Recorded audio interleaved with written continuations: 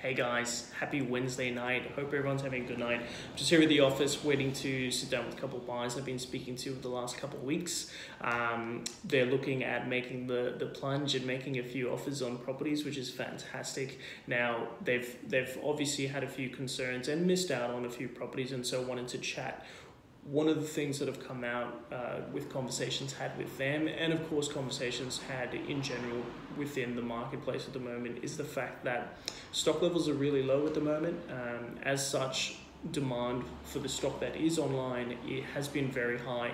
We've noticed that a lot of our properties are getting into multiple offer situations. Um, definitely, properties are selling before auction. Uh, we haven't had one property this year go to auction, it's all sold prior. Now, with that, um, I do have a few tips, and I'll definitely be talking to these buyers about it. One thing I would suggest is get in early, um, and what I mean by that is if you are interested in a property, make that interest known to the agent and ultimately to the vendor.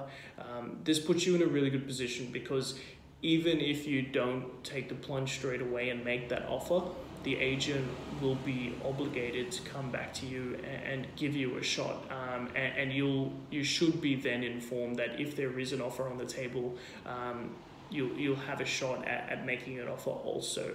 Now the other thing the other thing I would suggest, and, and obviously sometimes people um, take it with a grain of salt and um, have the pessimistic view that an agent will say anything to get a deal done. Um, but the other thing I would suggest is make your offer as clean as possible.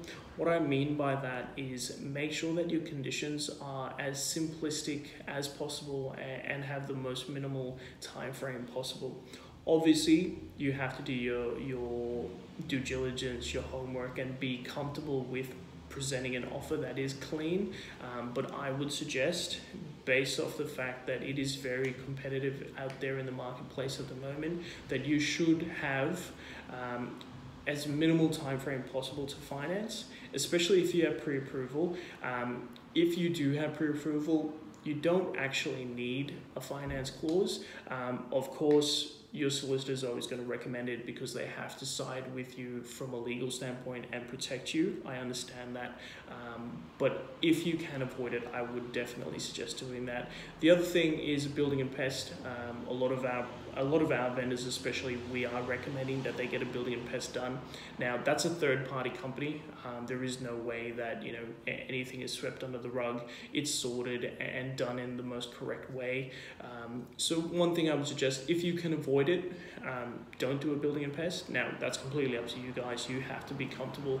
But the thing I'm really trying to to trying to point out, guys, is that um, it is very competitive out there at the moment.